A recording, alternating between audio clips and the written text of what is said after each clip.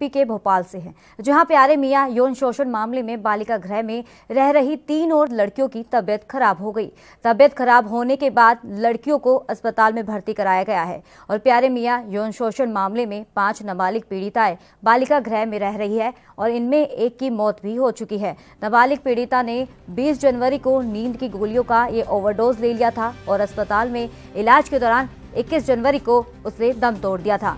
और इसके अगले ही दिन एक और लड़की को सांस लेने में तकलीफ़ और आँख से खून निकलने के कारण अस्पताल में भर्ती कराया गया था। बताया जा रहा है कि प्यारे मियाँ यौन शोषण मामले में एक नाबालिग की रहस्यमय मौत के बाद कई लड़कियों की लगातार हालत ये खराब हो रही है और सीएम शिवराज ने पूरे मामले की जाँच एसआईटी ने कराने के आदेश दे दिए हैं। तो वहीं विपक्ष ने एसआईटी की टीम ने अब तक लड़कियों के बयान नहीं लेने पर सवालिया निशान खड़े कर दिए हैं।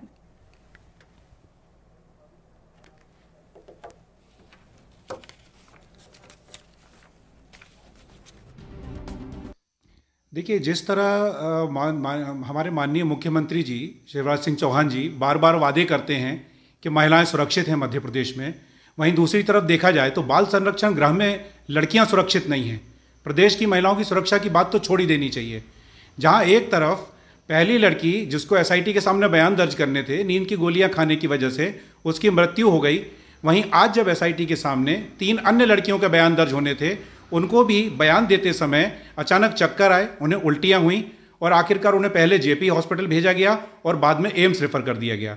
कहीं ना कहीं ये साफ़ प्रदर्शित होता है कि अफसरशाही जो जाँच के अधिकारी हैं, ये सारे लोग निकम्मे साबित हो रहे हैं और कहीं ना कहीं प्यारे मियाँ को बचाने का काम किया जा रहा है। देखिए, प्यारे मियाँ तो कांग्रेस की देन है। और जिस तरह से बहनों के साथ उन्होंने गलत किया, उस पर तत्काल हमारे द्वारा कार्रवाई की गई। इंदौर में उनका जो बंगला था, वो भी ज़मीन अंदाज किया, यहाँ की भी उनकी संपत्ति कुर्क की गई।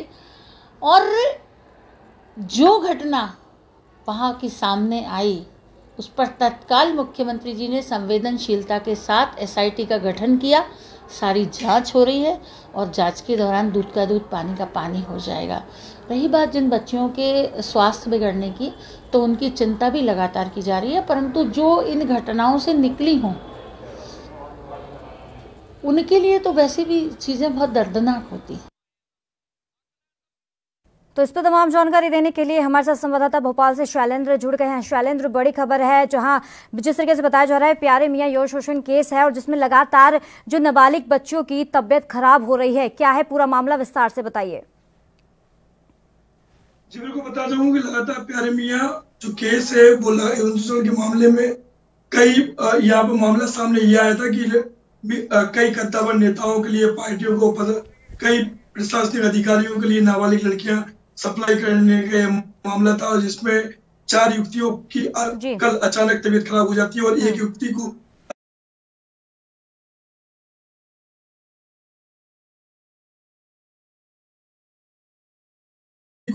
अचानक तबीयत खराब होने के बाद उसकी मौत हो जाती है और परिजन को नहीं सौंपते हुए सीधा प्रशासन सब जान उसके दाह संस्कार कर देता है और उसके बाद जब बाकी की नाबालिग लड़कियों की तबीयत खराब होती है तो उनको जेपी रेफर कर दिया जाता है एसआईटी की टीम ना बाल संरक्षण गृह में जब उनके बयान लेने जाती है तो उनकी तबीयत खराब होने के बाद हम्म। उनको एम्स रेफर कर दिया जाता है तो, तो काफ़ी गंभीर सवाल ये भी उठता है कि इसमें प्रशासनिक या तमाम लोगों के यहाँ पे जिस तरह से विपक्ष आरोप हम्म। लगाती नज़र आ रही है तो वह कहीं ना कहीं एक जाँच में सवाली निशान खड़ा होता है कि आखिर बाल संरक्षण गृह में कैसे नाबालिग बच्चियों की तबीयत खराब हो जाती है एक की मौत भी हो जाती है और उसको डायरेक्ट शमशान में संस्कार बिना परिजनों की अनुमति के किया जाता है तो हम्म। बाकियों की जो तबीयत खराब हो रही है तो आखिर क्या ऐसी वजह है कौन से ऐसे तार है। जो जाँच में बाधा बिल्कुल। चलिए बहुत बहुत शुक्रिया शैलेंद्र तमाम जानकारी देने के लिए।